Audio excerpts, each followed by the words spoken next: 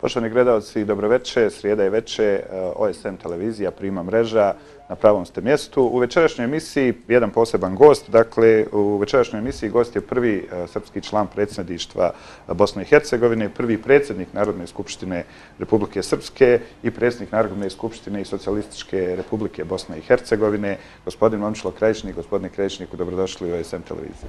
Bolje vas našao. Gospodine Krajišnik, vi ste i predsjednik asocijacije osnivača Republike Srpske, a evo navršava se 25 godina od formiranja uh, Skupštine Republike Srpske i godišnjica Daytona, nekako pravo vrijeme da uradimo jednu kratku retrospektivu e, gdje se sada nalazimo, a gdje, smo, gdje ste bili i te davne 92. godine. Pa evo ako možemo da uporedimo za početak situaciju u kojoj se danas nalazi Republika Srpska, koja izgleda neuporedivo bolje, moramo priznati nego na u kakvoj ste vi bili 92. godine pa da možda komentarišem ovaj posljednji, posljednji zaključak. E, I normalno je poslije toliko vremena, više nije rat, nije predratno stanje, da je bolja situacija nego što je bila 1991. 24. oktobra kad je osnovana Skupština Srpskog naroda u Bosni i Hercegovini. Tako se tada to zvala.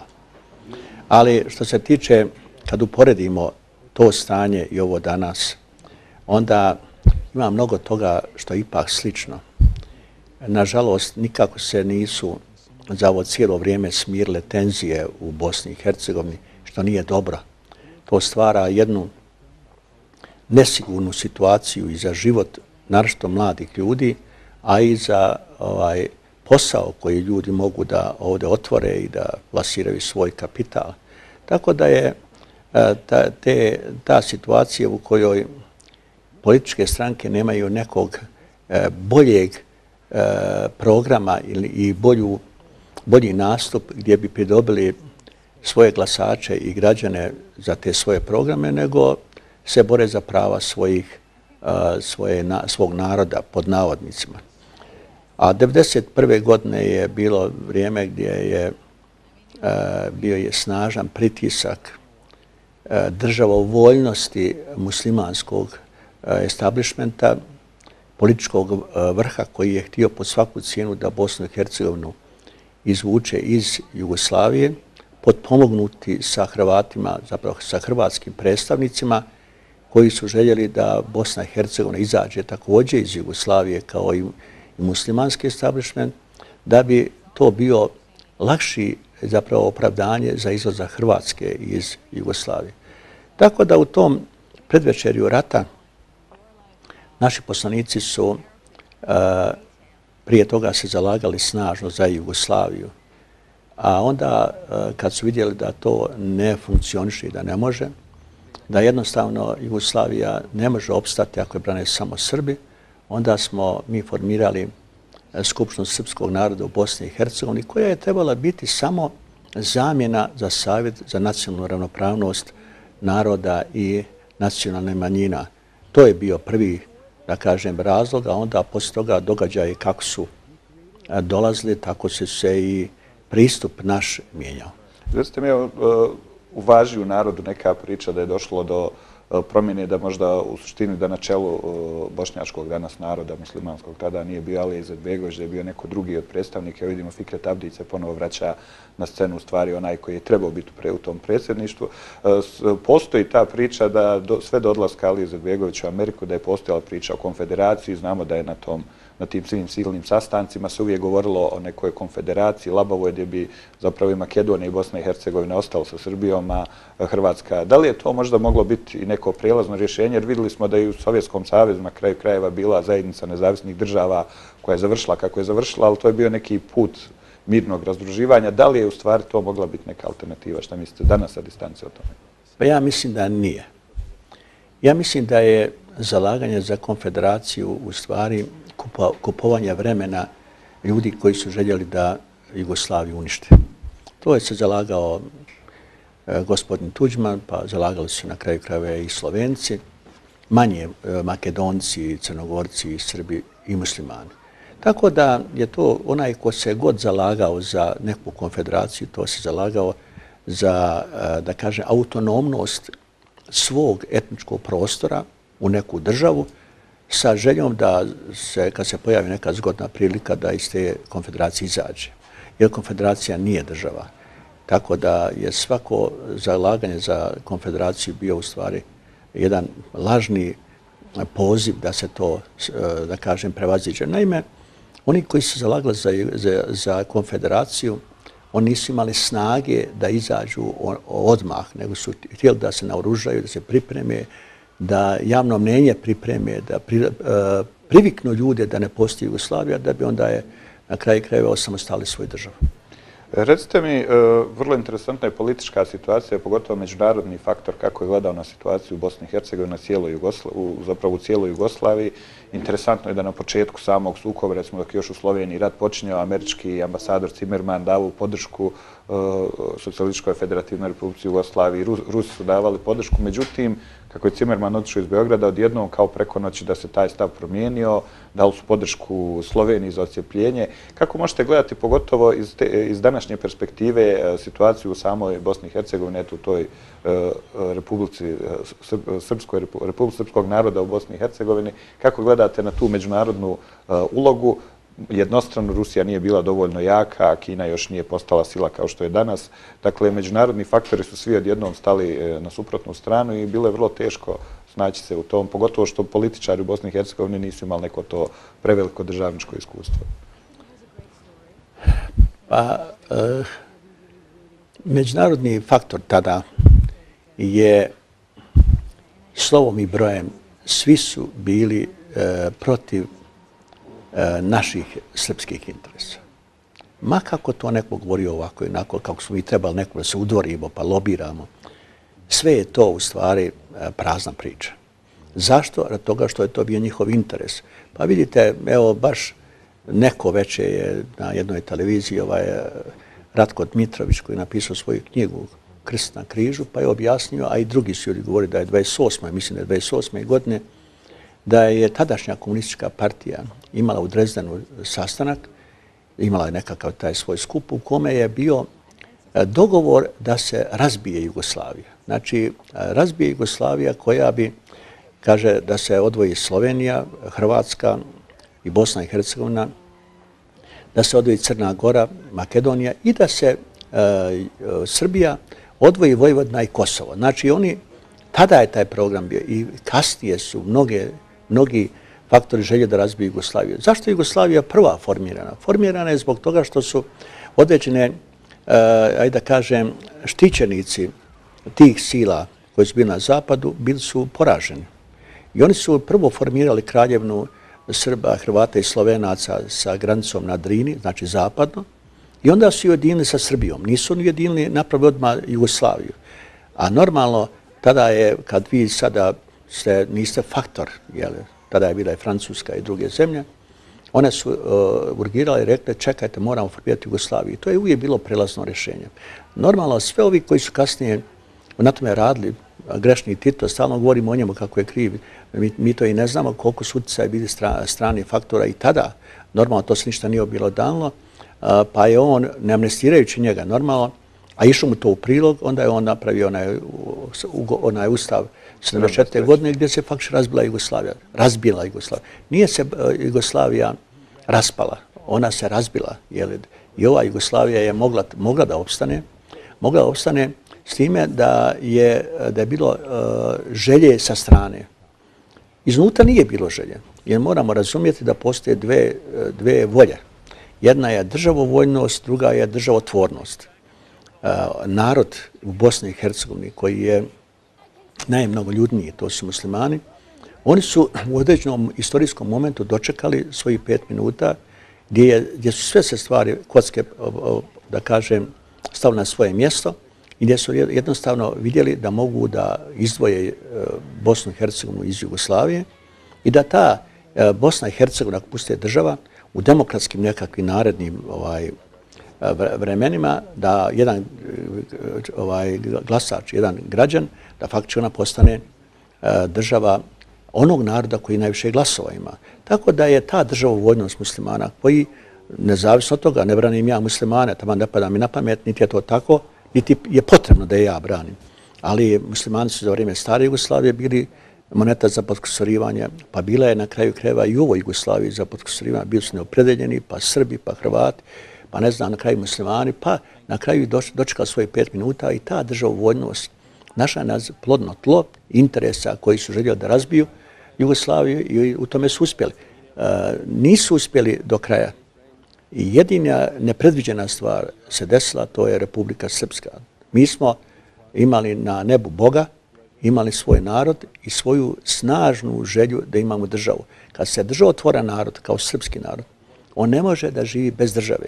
Imali smo Jugoslaviju u kojoj nama nije posebno bilo dobro. Ne može da nas je sad neko kinio, ne znam šta, ali nije bilo posebno bolje, pogotovo nije bolje nego kod drugih.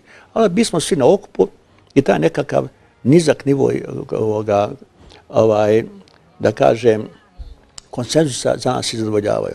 Ali ono moment kad je neko rekao nemate sad države, sad ćete biti nacionalna manjina, a bili bi nacionalna manjina. Što bi se oselili, što bi na kraju krajeva eh, pritiskom većine, posebno nacionalna manjina, onda jednostavno vidjeli bi da smo džaba cijele te ratove provodili da bi imali svoju državu. Tako da naša, naše opredeljenje Srba vrlo se često pripisuje za zasluga za stvaranje države tom našem rukovodstvu. Šta ja znam, o nas koji smo bili gore u vrhu, pa onda i vojsci, jedini zaslužan je za srpski narod. Normalno, rukovodstvo uvijek bitno, to je zaslužan narod i ako tako mogu reći na sudbina, da smo mi prošli kroz takve kataklizme, kroz takve, da kažem, nesigurne trenutke i stvorili smo svoju državu.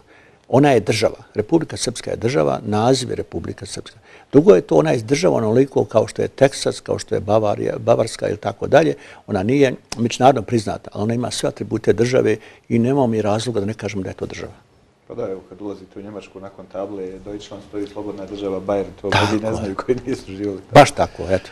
E, interesantna uloga e, Jugoslovenske narodne armije na samom početku tog rata. E, u našoj emisiji gostova je i doktor Svetozar Radišić, koji je bio pod parol vojske Jugoslavije tada za vrijeme bombardovanja i on je tvrdio da su kao obavještajac koji radi u tom, da su oni već od 60. godina imali direktive State Departmenta o rasturanju Sliške federativne republike Jugoslavije, SSSR-a i ČSSSR-a, tako da su oni direktive donosili svojim nadležnim, međutim ispostavilo se kad je ta vojska poslije 50 godina trebala da nešto učini, da radi za ono za što je u suštini položila zakletvu da brani tu državu, ona nije uspjela u tom.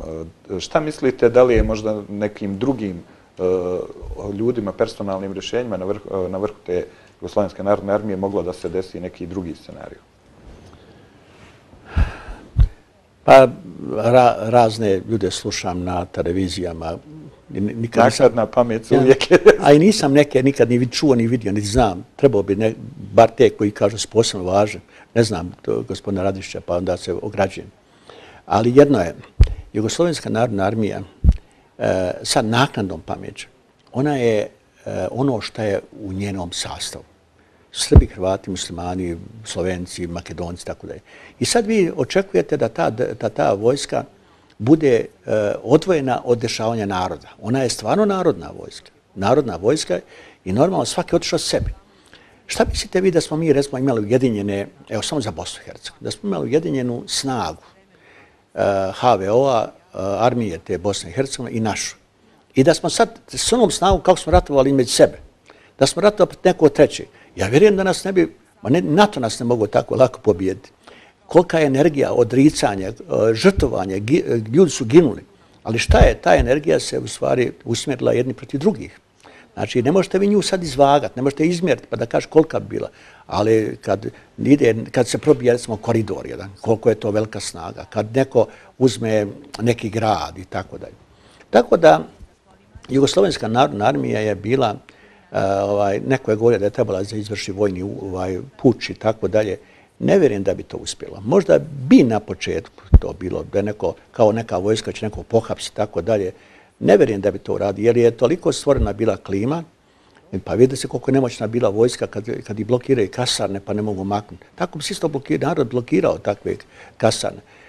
S time da ja dobro sam pratio i učestvenik sam tih svih događaja, ovaj, ako imate samo jedan narod od pet, šest naroda, koliko nas je bilo u, u Jugoslaviji, protiv te države teško je sačuvati. A ne ako imate pola-pola. Zašto se Jugoslavija nije mogla sačuvati? Nije se mogla sačuvati zbog toga što je srpski narod ovaj, mi smo eh, svim sredstvima želi sačuvati Jugoslaviju samo zbog jednog razloga. Jer su svi Srbi bili u toj Jugoslaviji i mi, za nas je socijalizam, odnosno komunizam, ko skrojen. Jednostavno ne znamo da razmišlja drugačije. Danas, evo Bosna i Hercegovina, dodam nešto što me niste pitali, ovaj, eh, ne razumije eh, to rukovodstvo muslimanskog naroda. On ne razumiju da na pogrešan način brane Bosnu.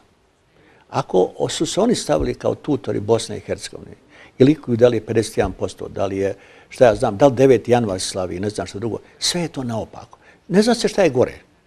Jednostavno ovdje se može napraviti samo jedan konsenzus, taj tronožac koji postoji, ako se taj tronožac dobro učvrsti i ako svako svakog uvažava, kako kaže ovaj, Englezi, adapt, ja se prilagođavam vama, a ne, vi, ne tražim od vas da se prilagodite meni, i vi također obrnuto, dođe na isto, ali sa pravi, pravim ovaj, nazivom.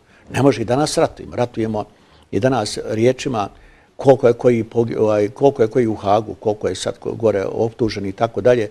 Nismo prestali da ratujemo.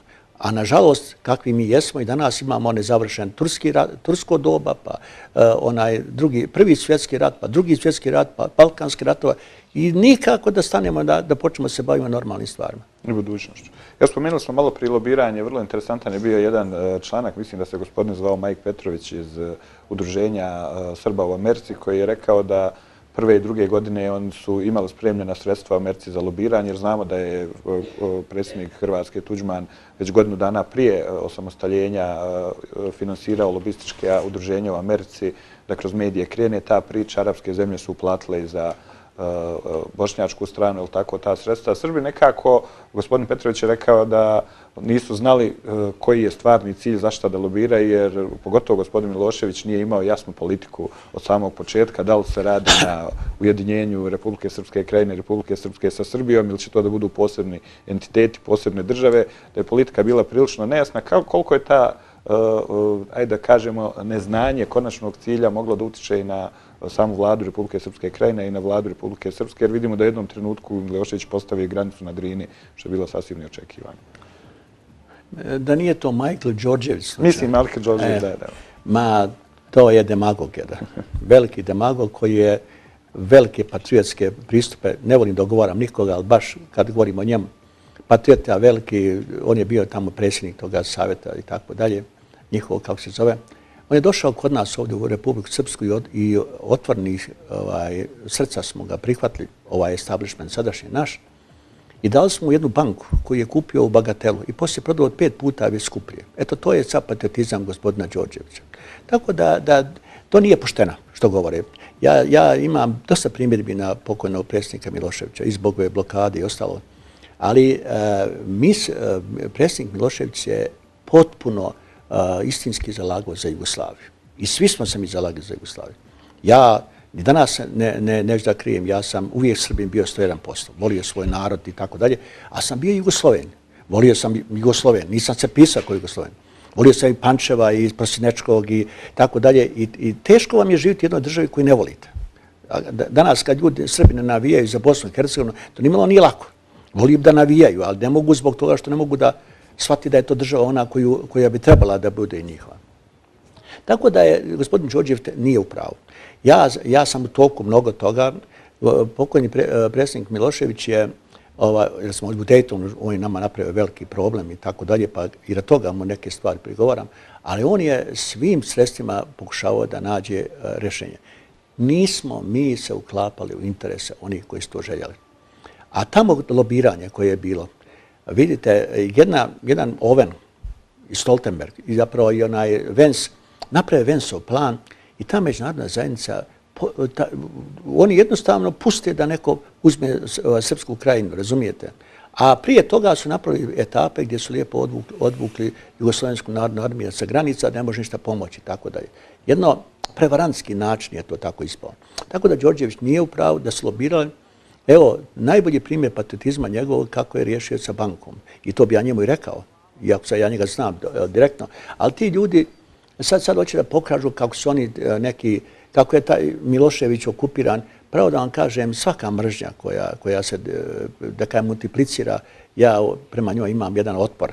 Tako da je najglavniji je bio Milošević. To je, svi su govorili da su stranci ovaj, da su stranci, e, Amerika je protiv Jugoslavije, zapravo protiv Srbije, toga što je Milošević na čelu. E, skinuli su Miloševića. I došli su oni njihovi puleni.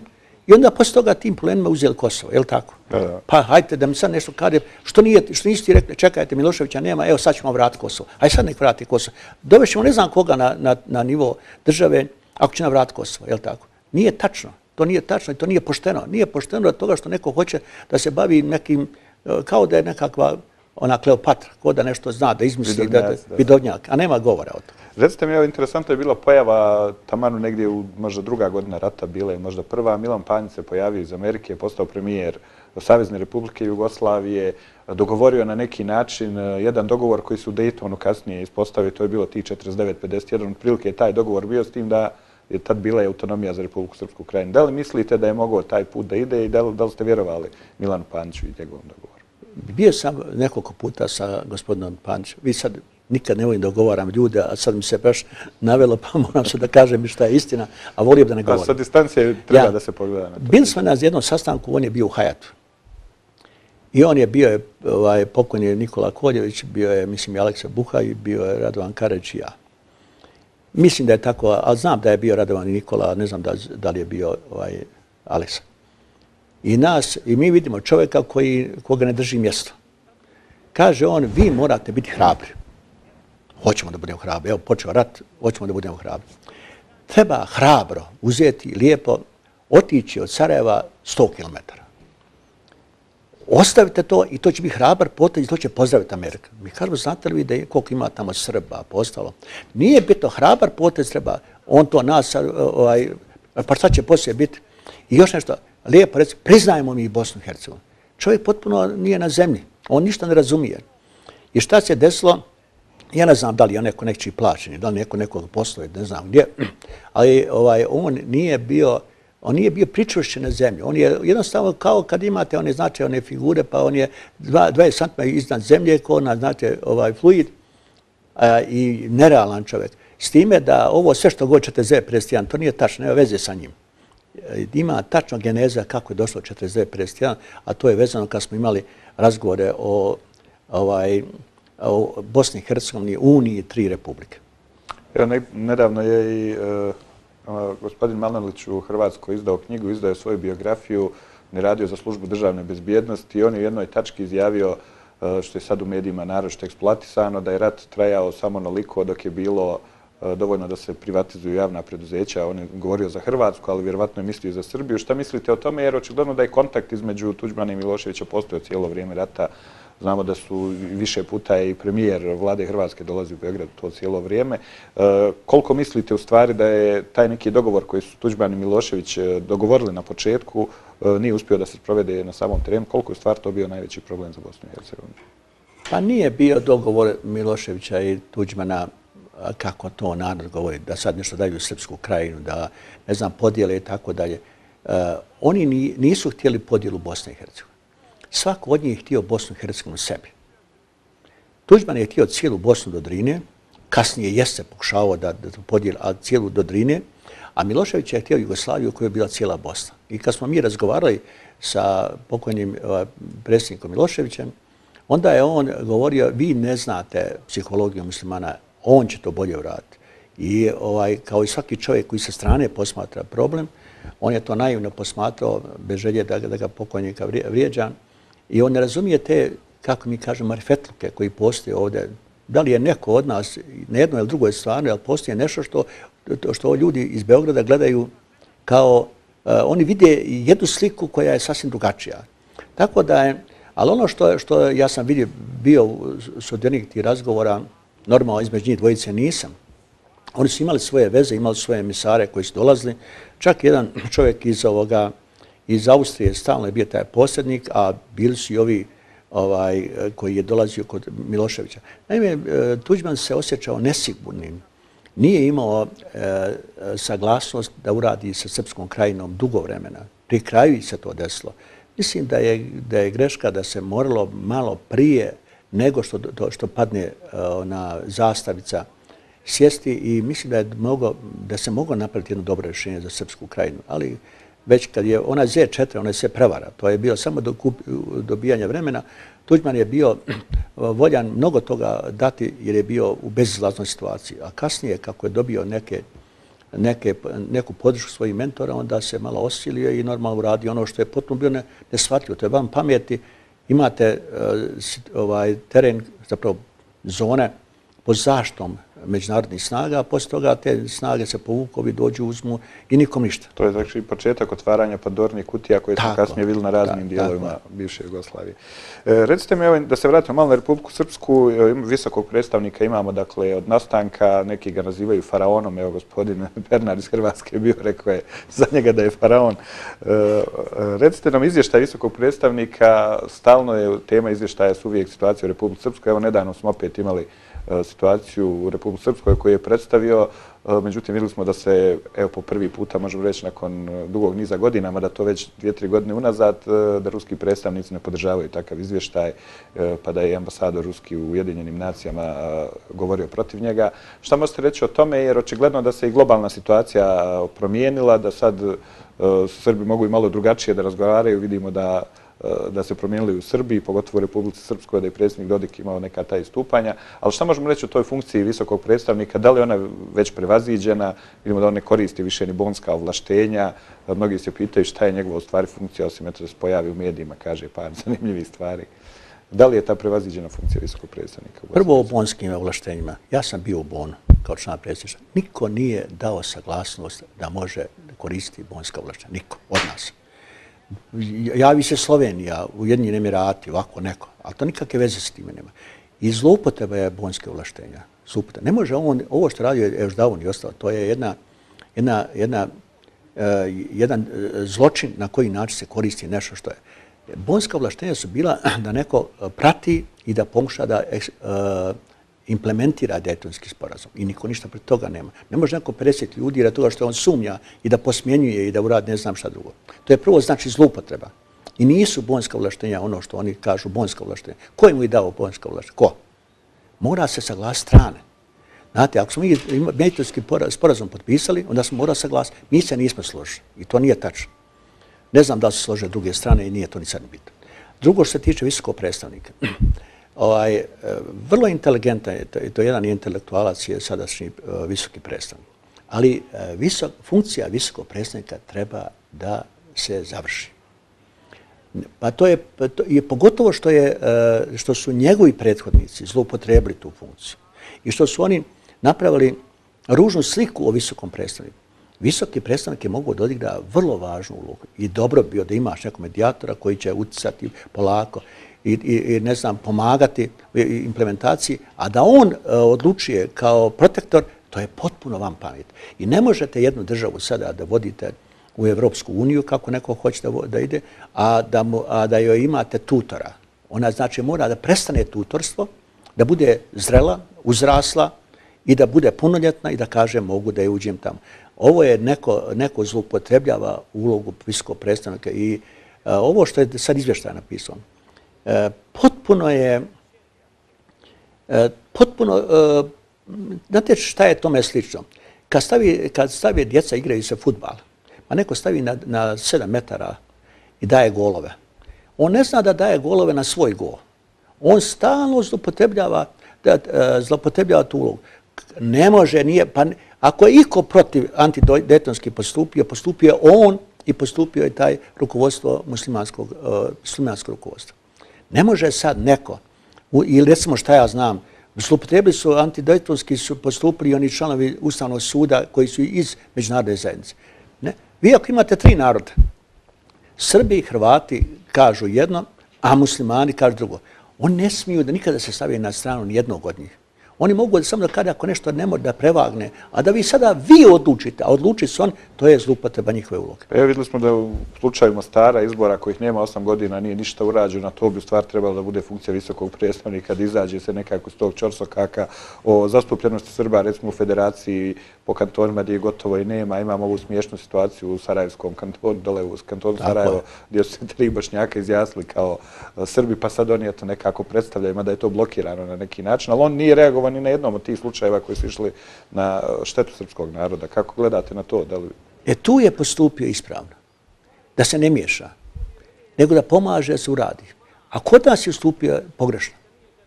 Zašto je pogrešno? Ne možeš ti sada, možda reći ovim predstavnici međunarodne zajednice, ne možete vi sada odlučiti da li će biti 9. januar ili bilo kakvi.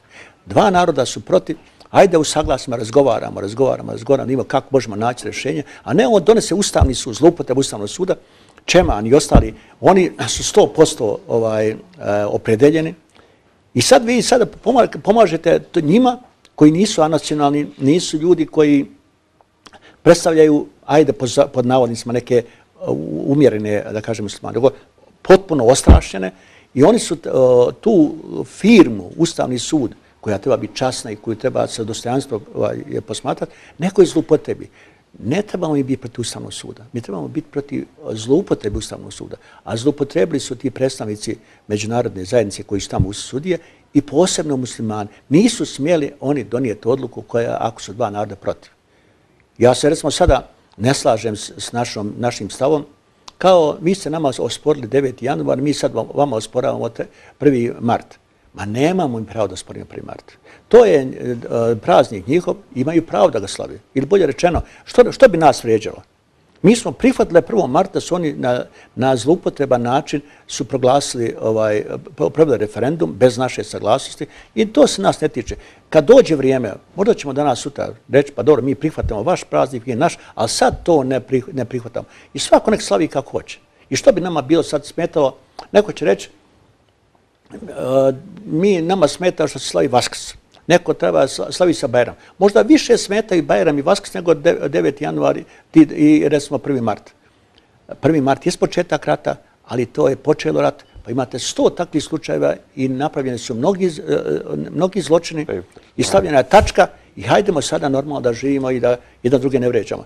Nekad naš tradicionalni pristup je bio, poštujemo njih, on poštuje nas, svak voli svoje i tačka. Predlažem da pogledamo naš marketinški blok pa ćemo se vratiti. Od toga se živi. Od toga se živi.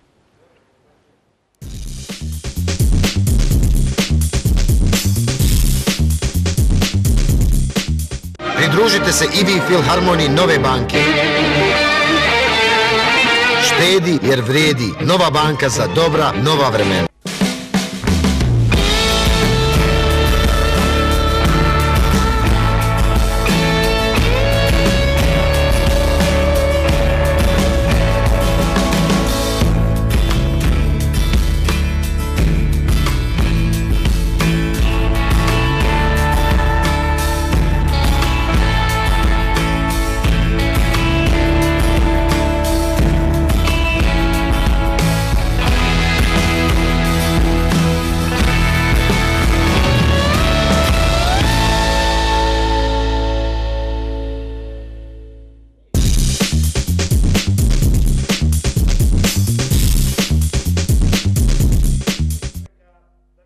Poštovani gledalci, ja nas ponovo u studiju SM televizije Prima mreže. Naš gost večeras, gospodin Momčilo Krajišnik. Gospodine Krajišniku, pogotovo u federalnim medijima u posljednjih par dana je e, veliku, veliki dio pažnje uzela dodjela povelja koje ste dobili vi i ostali osnivači e, Republike Srpske.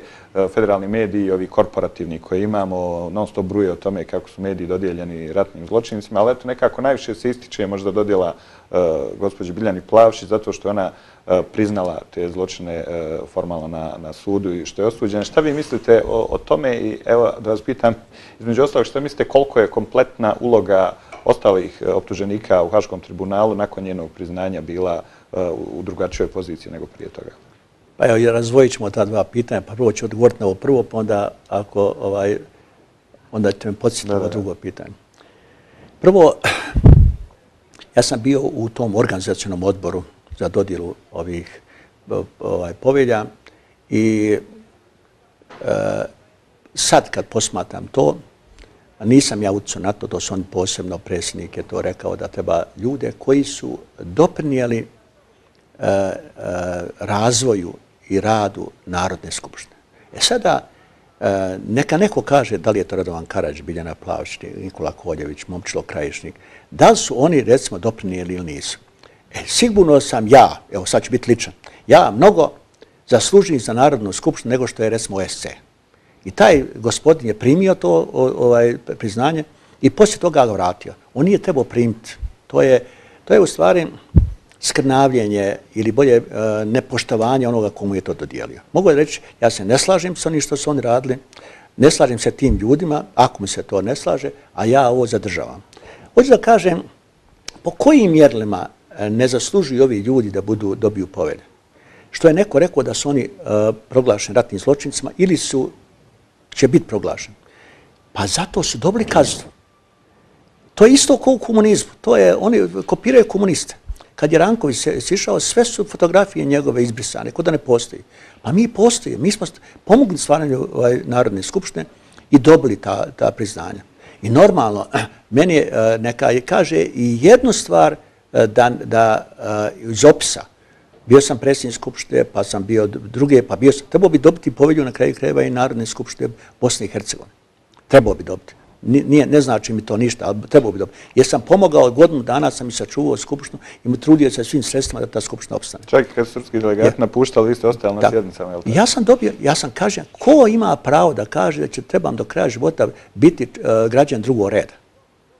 Ja sam za ono što je me neko proglasio krivim, da sam krivi i nisam, i sasvim je to irrelevantno, ja sam dobio na kraju kriva kaznu i za to je kazna.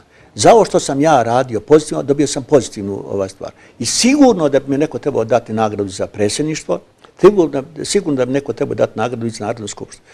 Za, I da uvijek kaže, momčino, krajišnik jeste kriv do podne, a poslije podne to uradi.